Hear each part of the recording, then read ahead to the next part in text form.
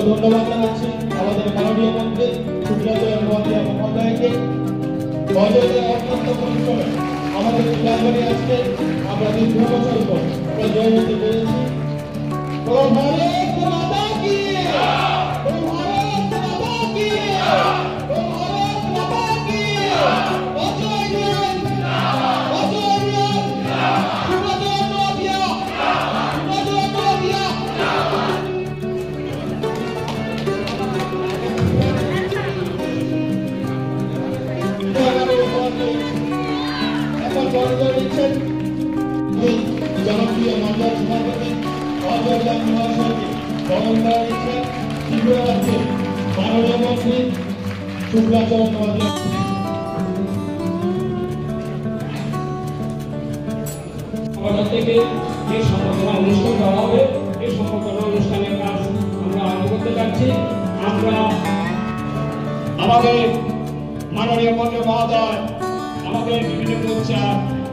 সভাপতি এবং সাধারণ সম্পাদককে মহিলা মোর্চা এগিয়ে আসবেন এই নতুন মহোদয়কে সম্বর্ধনা দেওয়ার জন্য আপনারা আসুন।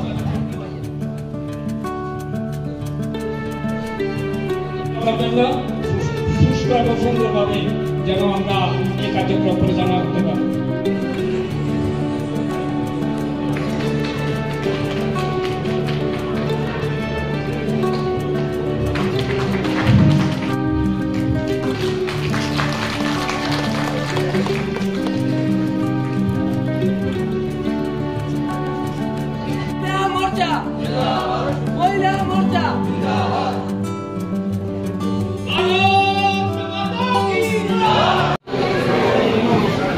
এই জুলাইবাড়ি বিধানসভা কেন্দ্র।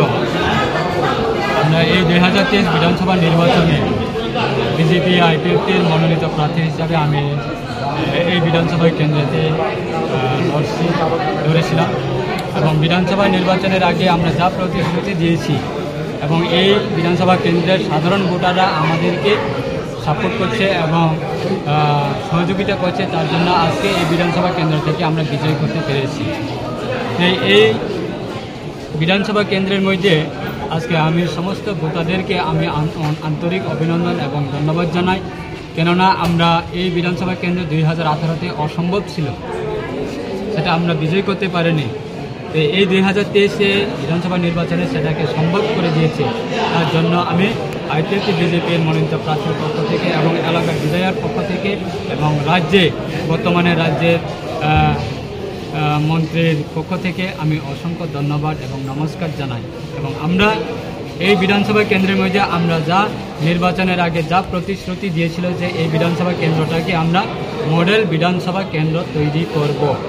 সেই বার্তা যখন আমরা নির্বাচনের আগে প্রচারে যখন নিয়ে গিয়েছিলাম, তখন মানুষ সমর্থন করছে, তার জন্য আজকে আমরা বিজয় করতে পেরেছি তারপরে আজকে আমাদের এই বিধানসভা কেন্দ্রটাকে আমরা মডেল বিধানসভা কেন্দ্র বানানোর জন্য আমাদের কাজ আগামী কয়েকদিনের ভিতরে আরম্ভ করে দেব।